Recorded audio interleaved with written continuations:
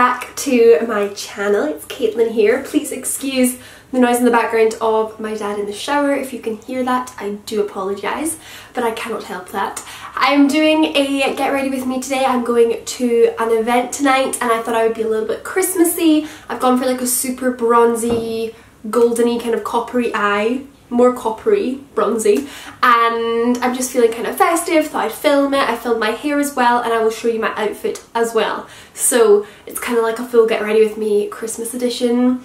Yeah, hope you enjoy. Please give this video a thumbs up if you do like this. Comment if you want to comment, let me know what you're doing for Christmas, if you're going to any parties or any events to celebrate, and I'm gonna stop talking and get into the video. Let's go.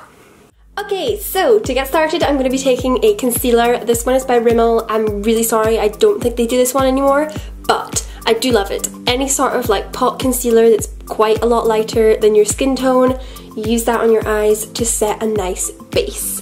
Then for our eyeshadow palette today, I'm going to be primarily using this one, which is the Huda Beauty one, and I'm just taking a base shade first of all to set that concealer.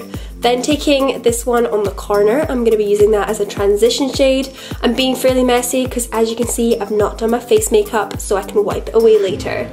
Then for the slightly darker one next door, I'm doing pretty much the exact same thing, not taking that shade as high up, using a fluffy brush and blending it all together.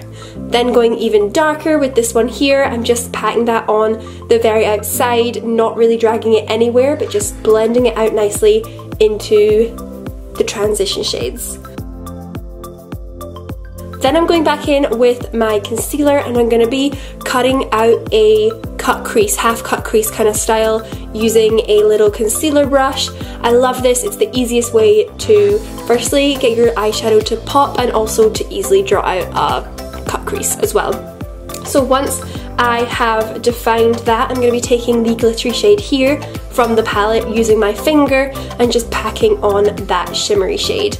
Also for the slightly inner corners where I want to be a bit more detailed, I just took a brush and just blended that over the top just to get a little bit more precision. Going back in with the kind of middle transition shade, I'm using that to blend the shimmery glitter with the darker shades.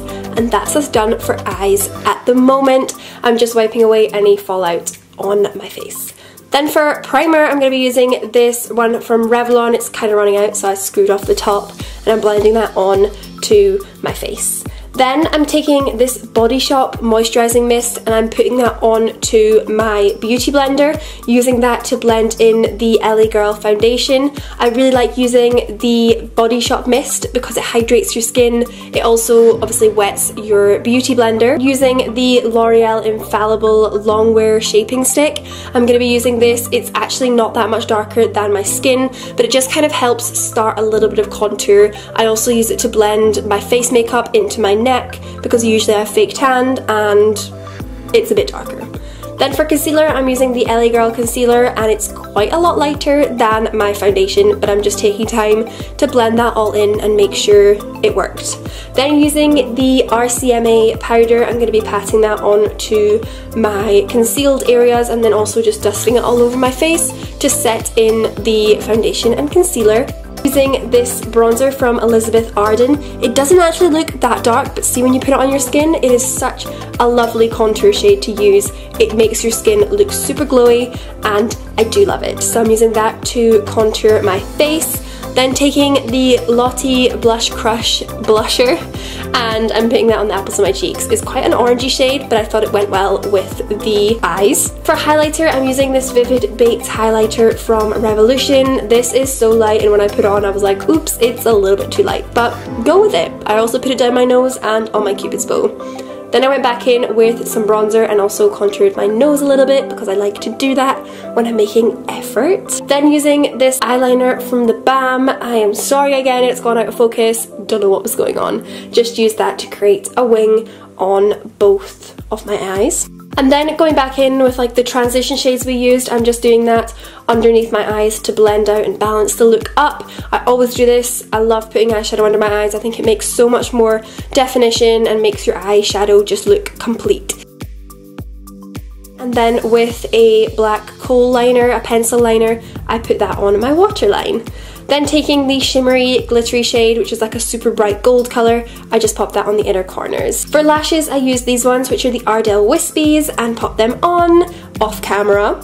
Then I've come back once I've done my lashes and I'm gonna do my hair. So I used my NuMe curling wand. It's the three-in-one one, so it's got three different uh, barrels that you can attach and I use the middle one usually. That's the one I'm using today. So I just go like taking different pieces. I didn't want a super defined curl, super curly hair, so I just kind of let my hair down, didn't do any sectioning, just took chunks and curled it and they're fairly thick chunks as you can probably see. Hopefully you can see that.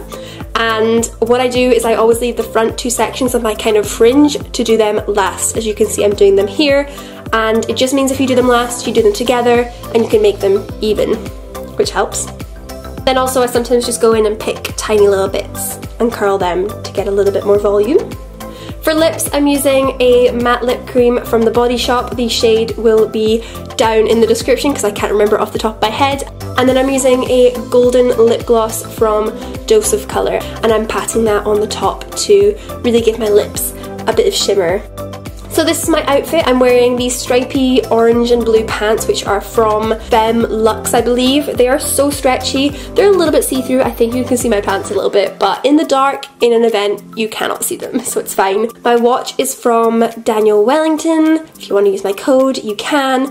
And then my ring is from a boutique store which I got for my birthday and then my clutch I think is from ASOS. My top is from Fashion Nova. So this is my overall outfit. I'm wearing heeled boots because it's a winter winter and my boots are from Dorothy Perkins if you're wondering. So this is the completed hair, makeup and I'm also wearing my outfit in this clip as well. I really hope you enjoyed this video. I really did love this makeup. I'm not somebody who likes to go super super super heavy with makeup but for me this was pretty dramatic for me and I really loved the bronzy coppery shades which went well with my orange trousers. So this is the finished makeup and hair.